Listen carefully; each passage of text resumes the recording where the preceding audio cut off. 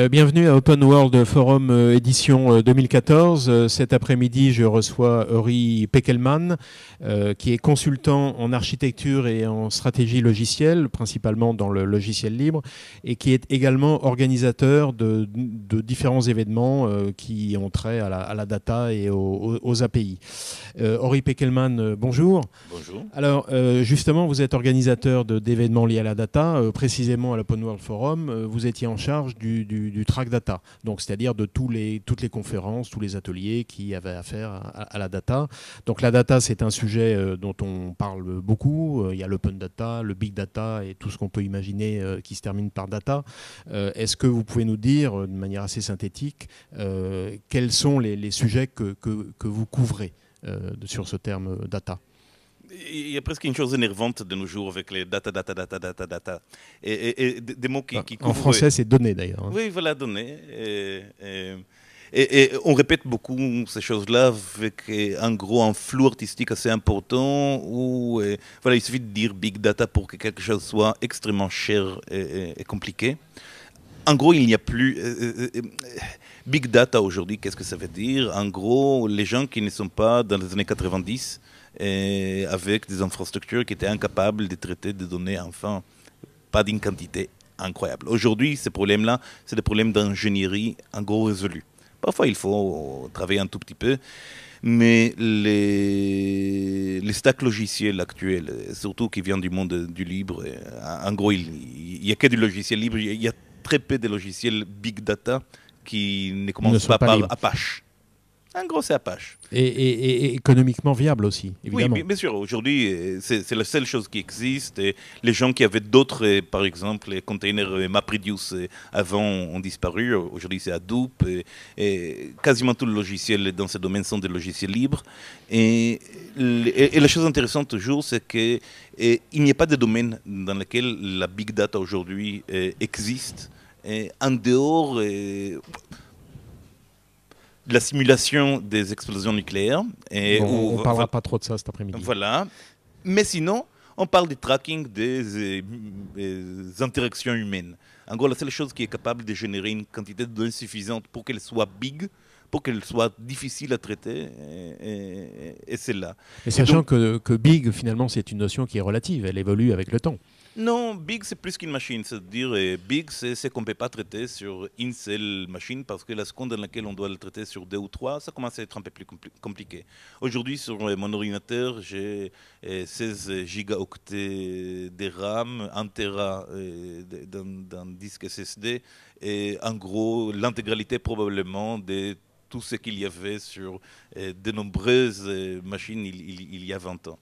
Donc, les, les, et, qui et, déjà qui était big, hein, qui contenait. Mm, mm. toujours si on fait les, petits calculs et on prend, je sais pas, 7 milliards de personnes et une vingtaine de pages par, ou une trentaine de pages par personne. Ça, ça, ça tient très très bien sur le téléphone portable. Donc ça, c'est pas big.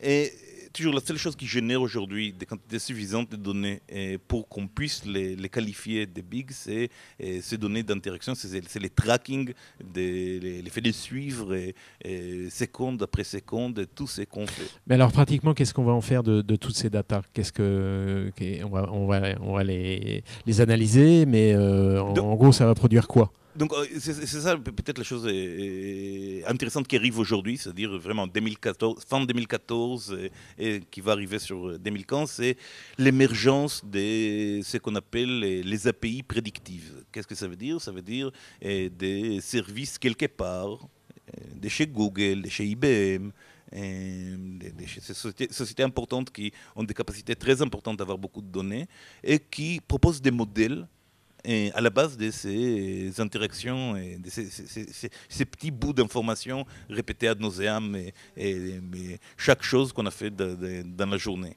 Et les, les modèles qu'on qu'on commence à pouvoir générer et sont des modèles assez robustes aujourd'hui. C'est-à-dire qu'on est capable de faire des prédictions, de, prendre une, une masse de données et de, sortir de ça des, règles, des, un type de, compréhension, mais qui de manière assez intéressante est absolument opaque. C'est-à-dire qu'on comprend bien ce que vous êtes, mais on a du mal à expliquer pourquoi. Et, aujourd'hui, sur les deux ans à venir, on va, on en tout cas sur l'année à venir, on va voir de plus en plus l'introduction massive de ce type de technologie en mode service. Et donc, en gros, même si toutes ces technologies tournent euh, sur des logiciels libres, on va euh, avoir une énorme transition des valeurs vers des systèmes opaques et distants alors justement, c'est un peu ce qui fait peur parce que la, notion de modèle, elle existe depuis très longtemps. Euh, la, modèle, le modèle, c'est une reproduction en, de manière théorique de, la réalité. Euh, et, donc aujourd'hui, elle va nous permettre d'exploiter ces, volumes considérables de données. Sauf que si le modèle, il n'est pas bon, euh, bah, l'exploitation et les résultats, ils seront, ils seront faux. Donc comment on peut faire pour être sûr que, que ces modèles, finalement, traduisent correctement la réalité? Et et un, gros même comme postulat, imaginer que les modèles robustes, ce n'est pas très important en réalité. Mais en gros, ils sont mesurés. Il y a une boucle de rétroaction. Donc on est sûr, on revient sur, soi.